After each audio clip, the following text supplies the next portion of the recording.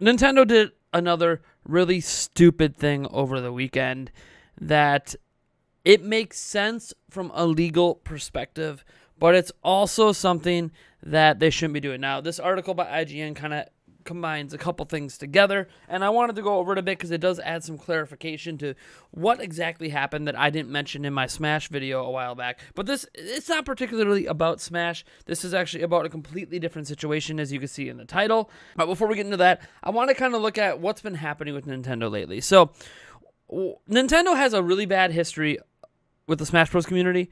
Uh, they have not shown support to the competitive scene pretty much ever. And there was something that in particular that Nintendo shut down that wasn't uh, it, it just Nintendo had, really should have left it alone. There are some things, especially during a pandemic, that you just have to let be, and this was one of those things. So there was a a, a Super Smash Bros. Melee tournament going on, or about to go on, hosted by Big House. But because we can't do in person events anymore, uh, at least not in 2020, I shouldn't say ever again, but in 2020, because of the pandemic, in person is not possible. The only way to have a Melee competitive tournament would be online. The problem is that Melee doesn't have online. So, to do an online tournament, you would need to modify copies of the game. Every person playing the game has a legit legal copy of the game, uh, but yes, you would have to modify the game to enable online, and there is already a mod for that known as Slippi. The thing is that Nintendo views you doing that as you're using an illegal ROM. Now, Nintendo doesn't have any proof that the ROMs are illegal because it is legal to make a ROM. You can legally make a copy of a game if you have the ability to do so that you own. Now, there are some particulars in gray area whether or not you're allowed to play that copy. It's supposed to be for backup purposes only, but this would seem to be a case where, you know, maybe you let this go, right? Melee is uh, has been mostly left untouched by Nintendo. They don't support it, but they haven't really stopped it that much. But you know, it's a pandemic. Try to be understanding that this is the only way these tournaments can happen, uh, and just let it go. It's not affecting sales. You don't even sell Melee, right? it, it, it's just dumb. And Nintendo themselves could have provided their own solution if they really wanted to to avoid all of this. But since Nintendo doesn't support the competitive Smash scene, of course they weren't going to do that. So they shut down the uh, tournament with a cease and desist. So Nintendo um, asked them to cancel the event. And basically, Big House said, "We're not going to cancel. That's that, that's dumb. It's a pandemic. Let people, you know, try to find some joy in this world."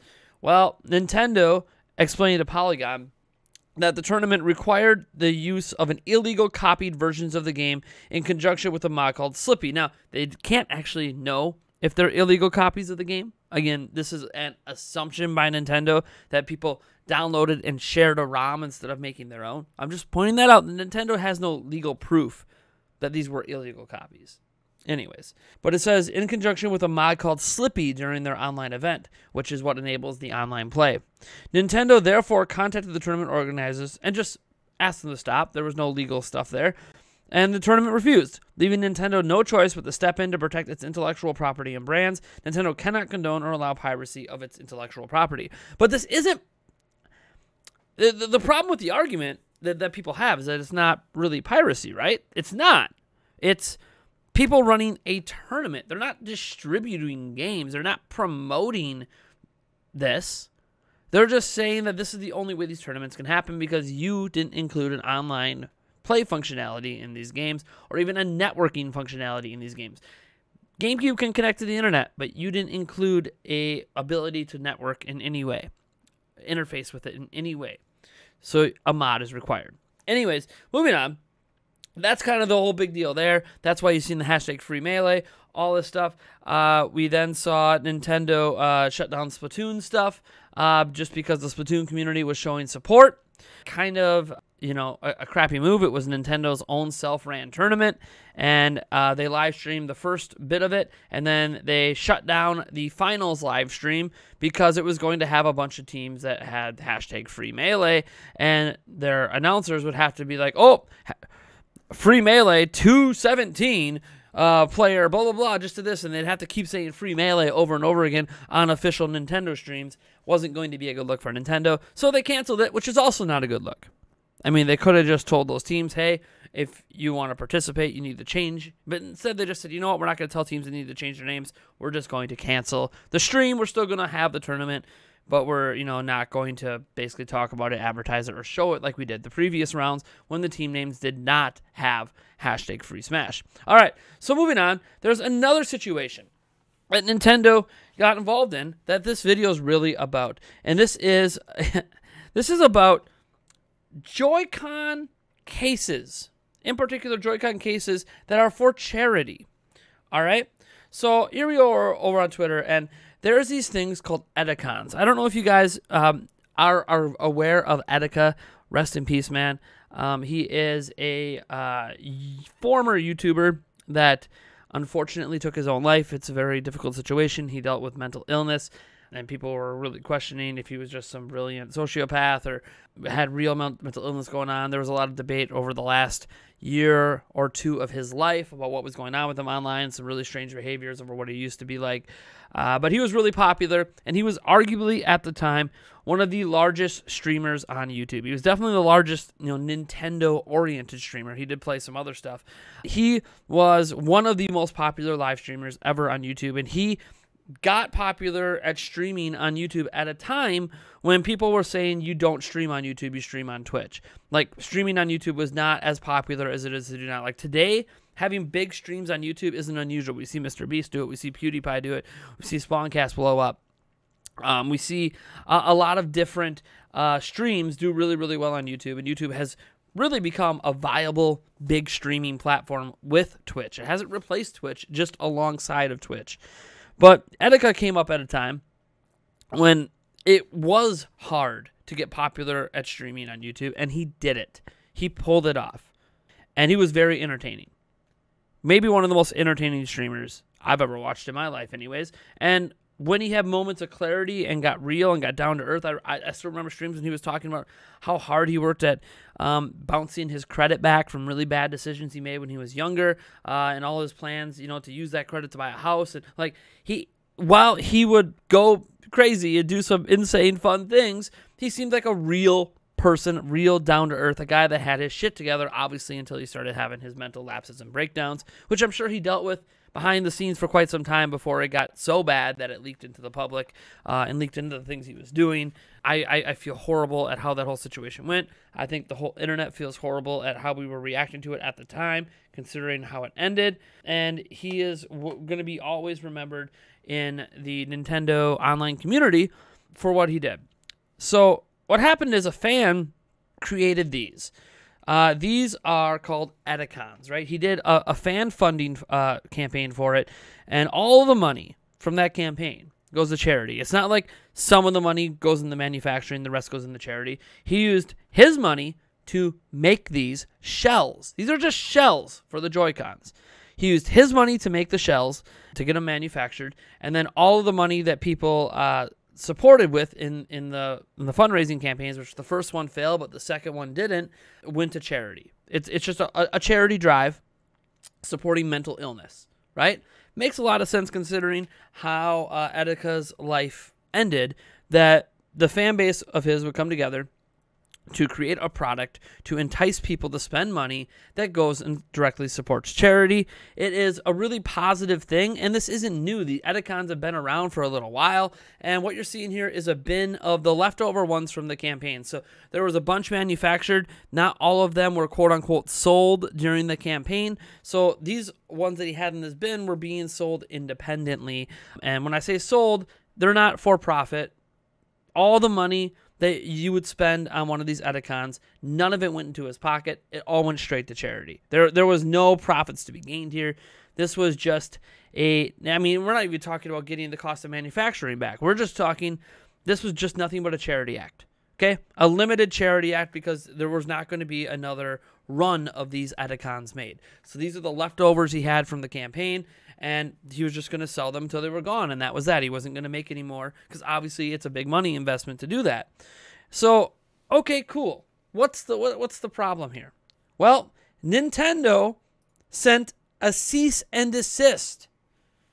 Remember, this is, these are not new products. Nintendo sent a, a cease and desist over shells for their Joy-Cons. Keep in mind, you can go on Amazon right now and find thousands and thousands of Joy-Con shells being sold. I have some. I don't see Nintendo shutting them down. Now, there are certain people that may be official partners, but I've never actually seen any of these studios have Nintendo's official seal, which means all these places that are selling these shells on Amazon don't have Nintendo's permission either. And so it's fair to say that Nintendo was pretty much letting this be fair game. They were letting the shells sell. They, you know, it was one thing they were doing that PlayStation isn't doing. See, PlayStation 5 and Sony shut down people making new shells that go on uh, or new faceplates or whatever you want to call them that go on the PlayStation 5. You see, the PlayStation 5 has removable sides, so there were other companies out there creating custom sides uh, that Sony shut down and said, no, you can't do that. Uh, Nintendo never shut down any of these. This is the first one I have actually seen them shut down. So here's what they said. You are on notice that your production, marketing, and sale of the infringing products, your use of Nintendo trademarks in connection with these activities, and your false association with the Nintendo brand. They're called Etikons. Okay, I guess the cons word um, violate Nintendo's intellectual property rights. Nintendo will consider any further use of Nintendo intellectual property in connection with your business and the infringing projects to be willful infringement of Nintendo's federally protected rights under the Lanham Act 15 USC 1125. This is referencing a prior ruling, obviously, and the Copyright Act of 17 USC 501. Liability for trademark infringement and unfair competition may include treble profits or damages, attorney fees, and costs, and an injunction against further use of the infringed marks. Liability for copyright infringement may include Nintendo's actual damages and any additional profits earned by the infringer. It wasn't profits in the first place, but um, or statutory damages up to 150,000 per work for f- willful infringement. In addition, liability for copyright infringement may include payment of Nintendo's attorney fees and costs. To avoid further legal action, Nintendo demands that you immediately cease all production, which ha- they haven't been in production uh, anymore, marketing, sale, and distribution. So he can't even give them away. He can't even just give them away to people because he can't distribute them at all uh, of the infringing products. And all use of Nintendo's trademarks in connection with such products, including but not limited to all products found at the links listed in the attached Exhibit B, which is this. So um, they're Joy Cons, so having the Nintendo Switch logo on them is pretty standard. You know, any reference to a Joy-Con at all, at a con, Joy-Con, uh, a me, Wii Fit, Grookey, Scorbunny, Sobble, Pokemon stuff. Maybe there was some stuff mentioned in, in, as like rewards on the on the um, like tier rewards or whatever. I'm not exactly sure where these logos come in. Uh, the Pokemon logo they put up there, I feel like that's a custom made one, but it doesn't matter. They're saying you can't use it. Um, the the word Pokemon, etc. But if you like look at the actual um, that's sorry, that was the original run. I'm trying to remember uh, where the actual Joy. Here we go. So this is what they actually look like once they're on, right? I mean, that's pretty sick. Can, we be honest? That's pretty sick looking. Joy-Con boys for life, right? The Joy-Con thing, Nintendo doesn't like. Again, Nintendo branding, Joy. Like, but here's the thing: it's not that Nintendo is not within their legal right.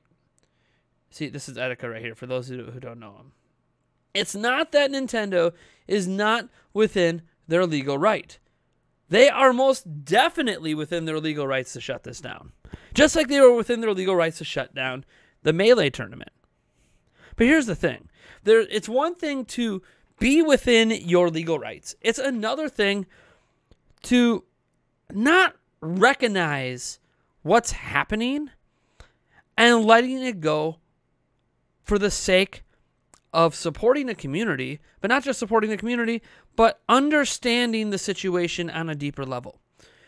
The Smash thing, understanding it on a deeper level, we're in a pandemic. This was the only way these tournaments can happen. Understand it. Don't take this legal stance at a time when we are all struggling. This was a dumb stance to take against the Smash Bros. Melee community, and this is beyond Melee. Hashtag free Melee. It's not just about Melee. We have a huge post. I did a 25 minute video about all the ways that they have hurt Smash Bros. in general. Okay, in the competitive scene. It's not just Melee. Melee is just the most recent thing that have happened to him. Now we have this. This is for charity. This supports charity. It's your legal right to shut this down. But why? Like, who at Nintendo goes, man, out of all of the, you know, fake, you know, all, all the non legal Joy-Con skins out there, we're going to shut down a temporary run of uh, Joy-Cons that honor someone who died. Someone who Nintendo has had in their videos before with Reggie in the past. We're going to shut down a product that shows love for someone who unfortunately took their own life because it has Joy-Con on it. Joy You're coming after Joy-Con boys now? You weren't coming after Joy-Con boys when it was being put on t-shirts and all this other merchandise when Etika was alive. Why the hell are we going after it now? And now at a time when these are for charity. It's a charity drive. Why would you want to use your legal right to shut down something that is such a positive thing from your own community, from the Nintendo community? This is such a po- like it's not that you don't have the legal right. But you're not setting some horrible precedent by letting it go.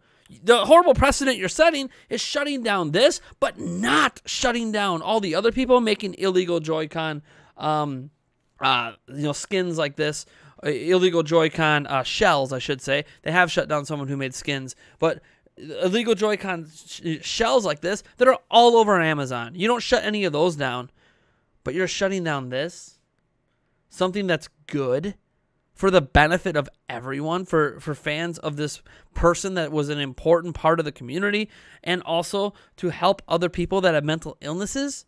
I mean, Nintendo could have said, "Hey, we're not going to allow you to sell or distribute these, but hey, we'll buy we'll buy these all off of you." Um, and give you, you know, like a one-time, you know, donation to this charity. Uh, we won't allow these to be distributed, but at least we'll show support, you know, in, in, that way. At least then, you know, that they're enforcing their legal rights, but still looking good, and that they're giving a, a, a, nice donation to that charity. But Nintendo couldn't even do that. They had to just go the complete legal route. You're done. Sorry, that bucket of them, keep them to yourself. We see you distribute them, hundred fifty thousand dollars. Thank you very much. It, it's ridiculous, but some people I've seen out there have also been looking at this as Nintendo this is obviously Doug Bowser and Shuntaro Furukawa's fault. This would never happen under Iwata. This would never happen under Reggie. Eh, really?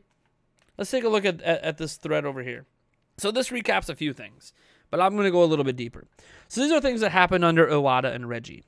Obviously, some people complain they always have the highest prices with, with games. I don't know. That's it's controversial, but I, I'm not going to sit there and hold that against them. That's just a business strategy. They're online while free has always been the worst of the bunch. Again, I won't hold that really against them other than saying that, yeah, they should do better, but I don't feel that's a problem. Overall, the services Nintendo provided have always been inferior. Uh, they had those YouTube copyright restrictions for years. Yeah, you guys forget that Nintendo was like one of the only major gaming companies at the time that was preventing us from using footage of their games in videos. That's crazy. You had a system you could sign up for that actively made it so you couldn't share footage of certain game. It it was it was bad. It was bad. Nintendo eventually due to community pressure finally stopped. But you know, if you thought this was the first Melee tournament shut down by Nintendo, you're wrong. They actually shut down a really big Melee tournament back in 2013 you know, a lot of people saying uh, Iwata wouldn't have accepted Mario 3D All Stars or limited releases when Wii All Stars and Four Swords DSi were also a thing. So Nintendo did this before. They have been taking down fan games for years. This is true. Nintendo is the most notorious at taking down fan games. Other companies do it here and there, but Nintendo pretty much will take down any major fan game, while most other companies will just kind of let it go and realize that's part of the community, that's the fans coming together, and it doesn't negatively impact sales. In fact, it just gives fans something to do in between releases, is what it is. Nintendo has always had this stance against fan games. Let me see here. Nintendo's worst DLC came out in 2014. Uh, that's the Mario Golf World Tour DLC. That, yeah, that DLC was not good. What a ripoff. They shut down Wii and DS Online less than two years after the Wii U came out. More or less at the same time, Mario Kart 8 was released, oddly enough. Um, they had region locking for years. Switch is like the first system where they really got rid of region locking. Uh, so that's you know, again, region locking's kind of an anti-consumer thing. Pro, uh, it's pro retailer, right? Pro local retailer, but but anti-consumer. Um, but yeah, it's uh, the, the shutting down the, the, the online services. It's pretty unusual for online services for systems to be shut down within two years of new platforms coming out. Usually, you know, you get a five or six year leeway on that, sometimes longer. Two years, and then conveniently when Mario Kart 8 was coming out, did not. It wasn't a good look at the time. NOA didn't even include Spanish text for some of their games for years, despite Spanish actually being a pretty big language here in the U.S. and we don't have an official language in the U.S. So not even the ones from Europe. So people from Latin America either had to learn English or pirate the game thanks to region lock. They only stopped after they got a lot of criticism of Xenoblade Chronicles X and didn't include the Spanish text. But it wasn't the first time. Uh, they were censoring some of their games for no reason for a time. Yep, lots of censoring, especially here in North America for some ungodly reason. Um, a country that's more allowing of certain things, and they still were censoring. I've seen some people saying that they wouldn't have accepted Pokemon Sword and Shield, which is laughable since Nintendo always released under. Uh, that's a personal opinion, but I think to go beyond this, and, and I'm gonna kind of get off this post because a lot a lot of it seems a little bit nitpicky. There is that Nintendo of the old days, the whole reason they lost third party support isn't just because Nintendo's reluctancy to switch to discs. They had some really draconian practices in place with third party companies. Um, and this was needed when the NES came out. I will say the draconian practices were needed because the industry had gone astray and was basically killing itself which is why the NES came at the right time and quote unquote saved the video game industry. This needed to happen.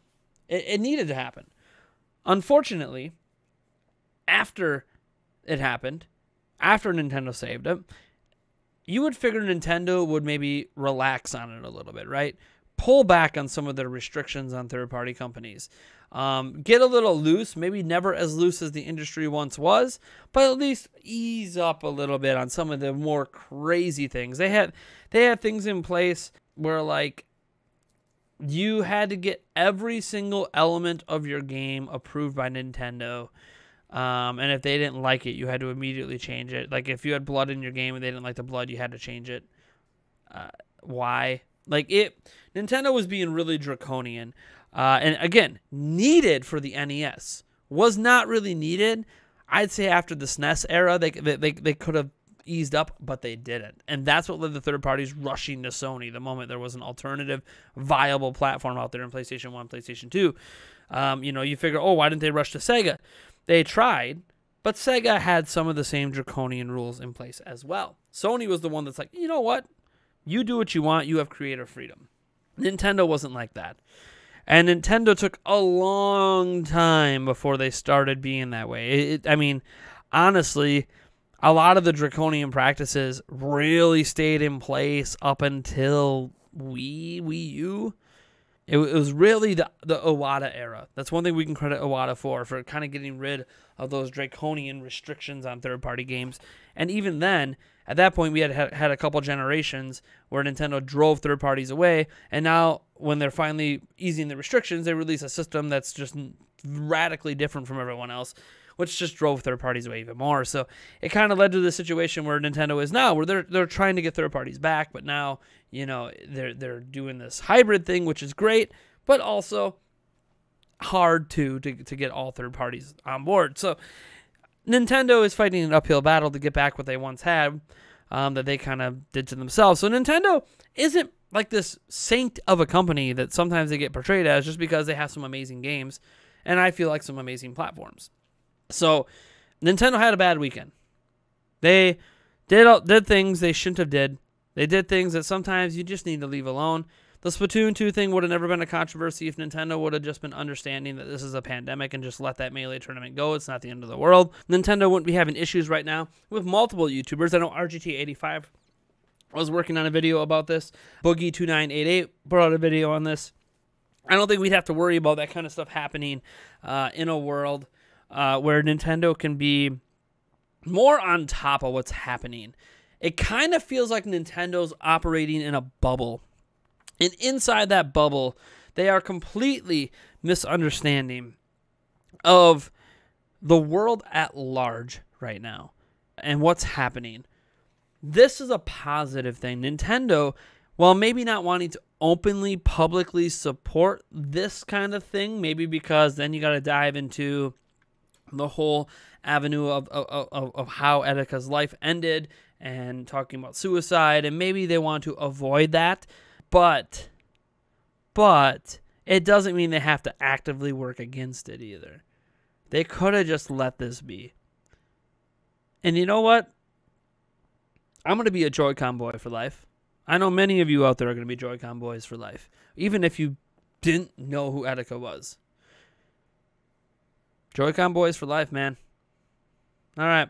I'll catch you guys in the next video.